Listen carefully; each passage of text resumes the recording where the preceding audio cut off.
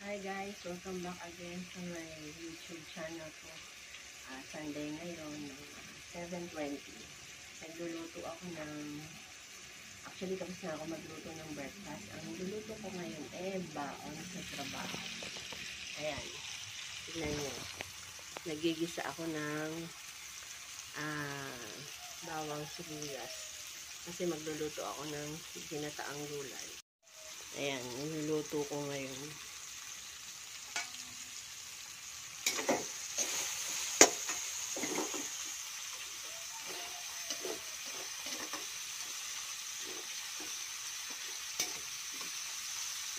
Ilalagay ko muna yung yung ating uh, gulay. Kunin natin. Lagyan natin siya dyan.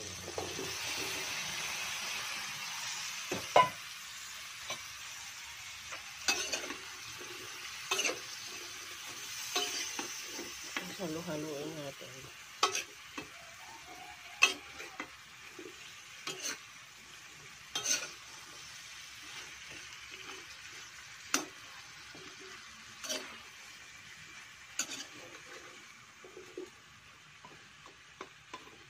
Yan. Sunod natin ilagay itong gata. Ito yung pangalawang gata.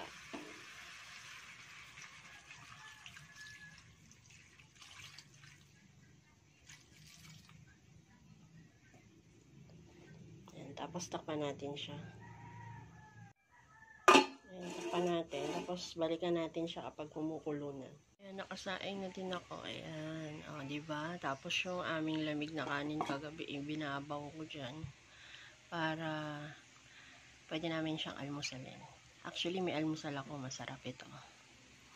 Dinuguan at puto. yan, nagluto ka kasi ng dinuguan kahapon may tira. So, nakakita ako ng puto sa palengke. Kaya, ayan, sa talipapa. Kaya, ayan, bumili ko. Masarap yan na combination ng almusal mamaya. Balikan natin atin yung niluluto. Baka kumukulo na. Ay, mga anak ko lahat nakahiga pa. Ang asawa ko nasa labas na ako. Ako, eto, nagluluto. Tingnan natin kung kumukulo na. Yan, nakulo na ang ating niluluto. Sarap oh. Sawag na hipon. Yan. Bumili lang nga pala ako dyan ng isang balot na gulay, yung sari-sari, sitaw, kalabasa, talong, okra. Kasi nagdagan ko nga pala siya ng kalabasa. Ngayon, dagdagan ko siya ng talong. Yan. Tignan natin yung talong. Haluin natin. Hindi na, hinahalo ko dumudulas. Wala pa laman yung kawali. Pero ngayon, steady na siya. Ayan, diba?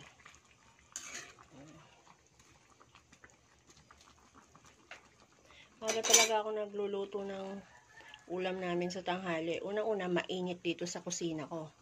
Kasi, wala akong kisame. Pangalawa, may pumapasok sa akin ng maaga. Kaya ako nagluluto ng maaga na baon. Yan. Diba? Ayan, lagyan na natin itong unang gata.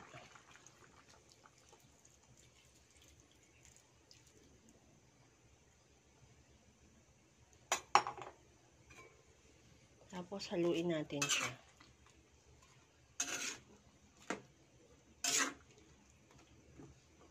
Ayan. Ayan natin yung mga talong na ano. Pero wag na natin siyang tatakpan para yung gata eh hindi magbuo-buo at saka hindi masyadong malabog yung gulay. Tapos lagyan natin siya ng konting-konting asin lang kasi kanina nung nagigisa ko yung sibuyas kamatis ko, nilagyan ko na rin siya ng asin at paminta. Eh, parang tinikman ko, kulang siya sa lasa. Kaya, yan natin siya, nilagyan ko siya ng konting asin. Yan, tayo na natin siyang kumulo hanggang sa maluto yung talong. Pero wag na natin siyang takpan nga para hindi masyadong maano yung gulay. Balikan natin siya mamaya kapag Ayan, tignan natin yung ating niluluto kung luto na siya. Para patayin na natin ang apoy. Tapos, magsandok na tayo ng bako. Ayan, luto na yung ating uh, ginataang gulay. Patayin na natin siya. Para hindi masyadong ma-overcook. Magsandok na tayo ng baon. Nalagyan na natin siya ng gulay. Lagyan natin siya ng... Siyempre, lagyan natin siya na... Ayaw pa huli. Yung hipon. Ayan, lagyan natin siya ng dalawang pirasong hipon plus na sabaw.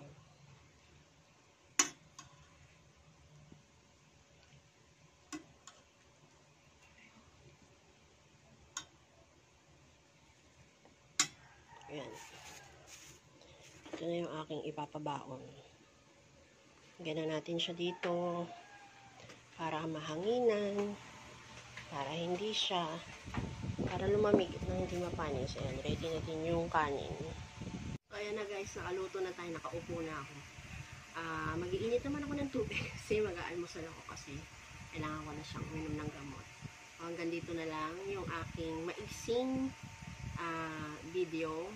Kung hindi pa kayo nakasubscribe sa channel ko, please don't forget to subscribe and like and share and hit the bell button para bell button